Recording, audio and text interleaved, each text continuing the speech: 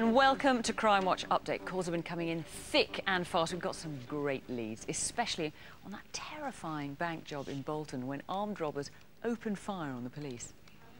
Was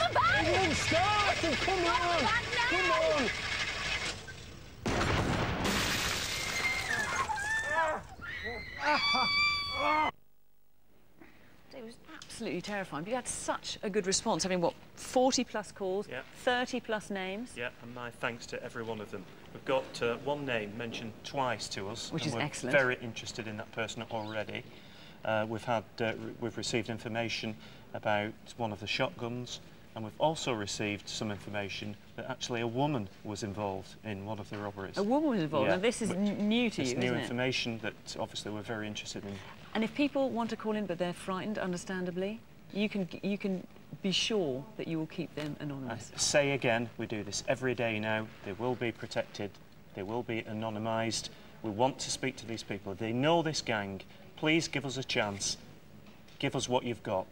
Give us a call. Okay, David, thanks very much. Thank you. Andrew Batterton, known as Fatter to his friends, was stabbed to death in an attack that, as far as we can see, has no motive at all. It must have had one. But having lost their mum before Christmas, his four children are now orphans. We've been trying to find out who killed their dad.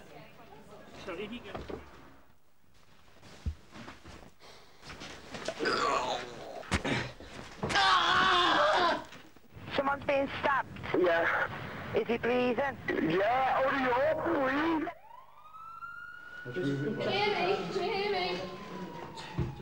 What he must have gone through, what he must have thought, and uh, how frightened he must have been. So distressing. And actually, you haven't really had the calls you wanted tonight. No, to be honest, we, we didn't expect a lot of calls tonight. We think we're only looking for one or two people. And those are two, or one person, whoever it is, who knows who had a grudge against Andrew. That's right. Somebody really hated him and probably would have told people about it. Yes, we think they may well have confided in someone. Now, you were saying earlier on, if those people don't come forward, you're going to go and find them and possibly do them as a sort of conspiracy on this. I think the, the story is come and see us before we come and see you. If they do come and see you, of course, they're in for a very big reward, apart That's from right, it's a anything £30,000 reward. And you're guaranteeing anonymity. We are indeed, yes. So come on, it's crazy not to do that. Uh, we're also hunting two sexual predators tonight. Um, first one who carried out a spate of attacks in Watford last summer. The extraordinary thing about him is he went around without any trousers on. You would have thought that would have been quite easy to identify him. Actually, you've got a long way, Jane. We have indeed. I think he's well and truly been caught with his trousers down. We've had over 35 calls and we've had eight people given the same name. So tremendous a result and it's only a matter of time. Then there was the very frightening couple of attacks in, in Birmingham. One just before Christmas, uh, where a girl had her hands put behind her back at a bus stop, marched and, and, and really seriously attacked. Happened again last night to another one. It did indeed. Again, we've had a really good result. We've had two callers given the same name and officers are working on that as we speak. Right. And actually, I know that those calls, one of them at any rate, has given us something which is, um, well, I won't go into it, but really interesting.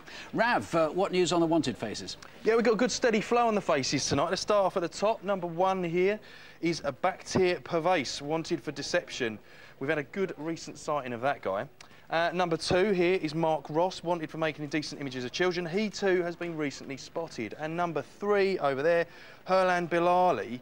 He's wanted in connection with a shooting in Park Royal last year. And thanks to some of our eagle-eyed viewers, he too has been very recently sighted. The lines are still open, so if you can help with any of those, you've got to get on the phone and give us a call. Now, remember I went to the Hackney estate where Peter Oduwole, or Peter La Cosa Nostra as he was known in the garage music scene, was murdered last year. It seems people are just too scared to come forward.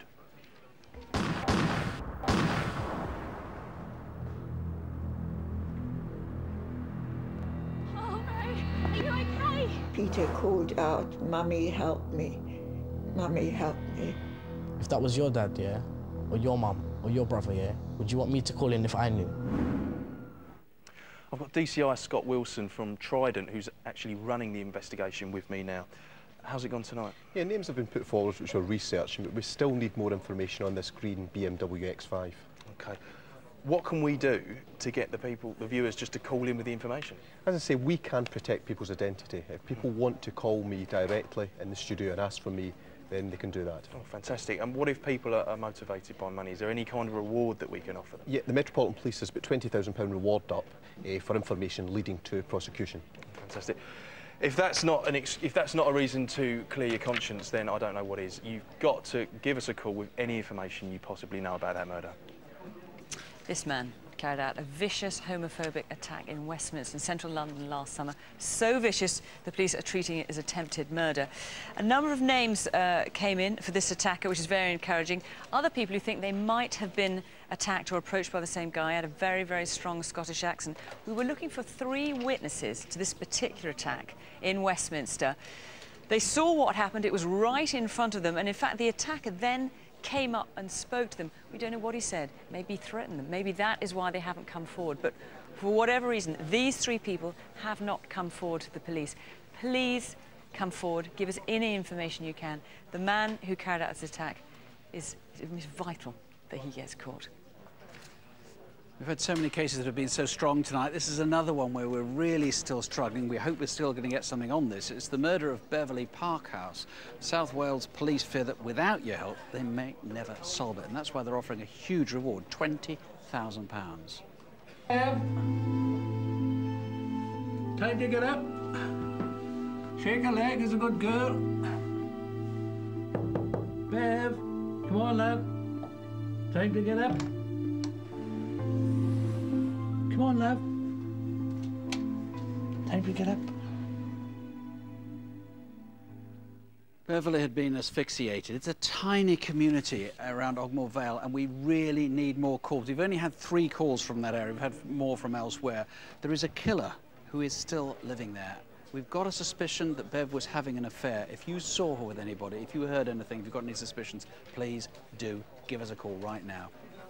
Rav, uh, what have we got from uh, CCTV? Really good, actually. We'll start off with the Widnes Co-op burglary, and I really think it's a case of three being a magic number tonight. When we showed you that, we've had lots of names given in. Uh, the same one has been given three times. Another name has cropped up twice for that one. We then showed you a Bermondsey robbery on a 90-year-old guy. That is absolutely shocking, that was. But again, we've had several names, one of them coming up three times. And then we showed you a robbery in Anerley on a poor lady who was just simply waiting for a train. We've had three names put up for those guys as well, and they simply need to be caught before they do anything much, much worse. I certainly do. And you can find all tonight's cases on our website at bbc.co.uk slash crime. And if you've been a victim of crime, the victim support line is 0845 30 30 900. Incidentally, next time on Crimewatch, we've got a Manchester Razor attack, attack that left a young lad blind in one eye and that's on Monday, the 5th of March. From the production team and the detectives here, thank you for all your calls. From all of us, don't have nightmares, do sleep well. Good night. Good night.